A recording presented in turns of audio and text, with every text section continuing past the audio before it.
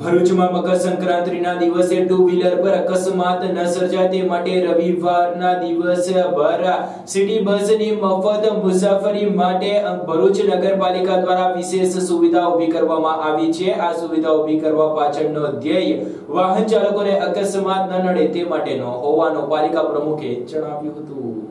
ભરૂચ ઉત્તરાયણમાં અકસ્માતને પગલે પાલિકાએ એક નવો નિર્ણય લીધો છે. બાર રૂટ પર મફત બસ સેવાનું આયોજન કર્યું છે. ઉત્તરાયણના દિવસે કાતિલ દોરીથી અનેક અકસ્માતો સર્જાય છે. કેટલાય જીવ જાય છે ત્યારે આ દિવસે કોઈ અનિચ્છનીય બનાવ ન બને તે માટે ઉત્તરાયણ પર્વ નિમિત્તે ભરૂચ પાલિકા દ્વારા મહત્વનો નિર્ણય લેવામાં આવે છે. શહેરીજનોમાં સસ્તી અને સુવિધાજનક સિટી બસ તરફ જોગ વધી રહ્યો છે. આ દરમિયાન રક્ષાબંધન વખતે મફત સિટી બસ સેવા બહેનો માટે શરૂ કરી હતી. મહિલાઓને મફતમાં મુસાફરી કરવાનો તડકો પડી ગયો. તેના કારણે હજારો બહેનોએ લાભ લીધો હતો હવે ઉત્તરાયણના ચૌદ જાન્યુઆરી રવિવારે સવારે બાર રૂટ પર ફરતી મુખ્યમંત્રી શહેરી પરિવહન બસ સેવામાં મફત મુસાફરી જાહેરાત પાલિકા દ્વારા કરવામાં આવી છે. પાલિકાના પ્રમુખ વિભૂતાબા યાદવ દ્વારા અંગની જાહેરાત કરવામાં આવી છે.